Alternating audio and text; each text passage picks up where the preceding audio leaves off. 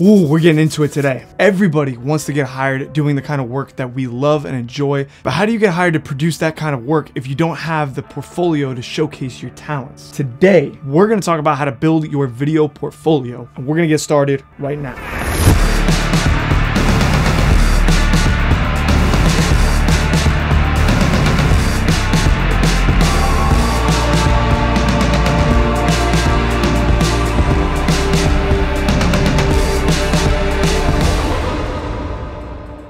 First step is figuring out what kind of work that you want to get into. Do you want to film commercials, product videos?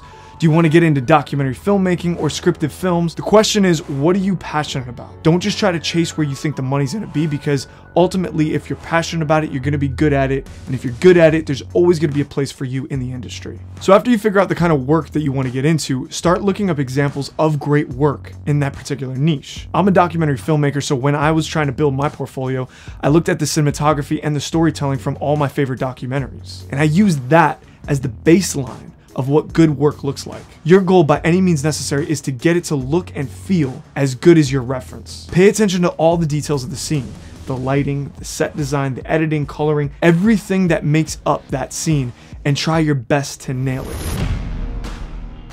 Now that you have a reference of what you want your projects to look like, it's time to now go out there and try to execute your idea. Be prepared to invest in yourself. And what I mean by that is taking the time to really plan out your shoots and make a pact with yourself. And no matter what happens, you're gonna do whatever it takes to get the best possible product that you can make. Another thing is be prepared to spend some money on this as well. Let's just say you hire an awesome DP to help you film your vision and you learn and you get a great piece of work that you're proud of that you could show. You got to ask yourself, what's that worth? The answer is priceless because not only are you gaining the knowledge and experience from watching and working with somebody that is really great, but you're also walking away with a piece of work that you're proud of that's going to translate for you later on into a lot more money. Investing the time and the money into a portfolio piece is actually priceless. Whatever you need to do to make your project great, do it. If you have to rent a location or film equipment or even hire somebody to help you produce your vision, trust me when I tell you, in the long run, it's gonna help you and be worth it.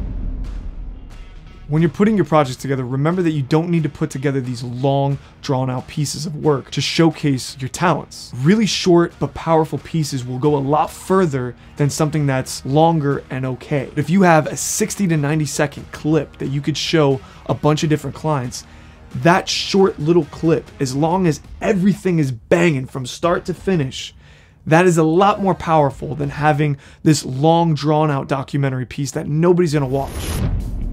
After you executed your projects and you have a few pieces that you really like, then you put together a 60 to 90 second reel showing all the best work that you have done. Now I feel like reels are an okay marketing tool, but I found in my experience that if you put together a piece of work that is relevant to what you're trying to get hired for, that's really good and strong, nine times out of 10, they're gonna choose you because it's suited for the type of work that they're trying to do. The more of a direction that you know you wanna go into and the kind of niche that you wanna attack as a filmmaker, the better it is for you because you're gonna get all of those jobs. So I think in my experience, it's better to have both have you know a few different pieces that showcases your work again 60 to 90 seconds and then also having a reel that kind of encompasses everything so in a snapshot you can take a look at all the different cinematography and the directing and just your editing power as a videographer or a filmmaker. Now on Thursday, I have another video coming out for you guys and that video is how to take this portfolio that we just talked about today and turn it into a tool that can get you your first client. So that's it for today. Don't forget to smash that like button, subscribe to the channel if you haven't already, and I'll see you guys in the next one.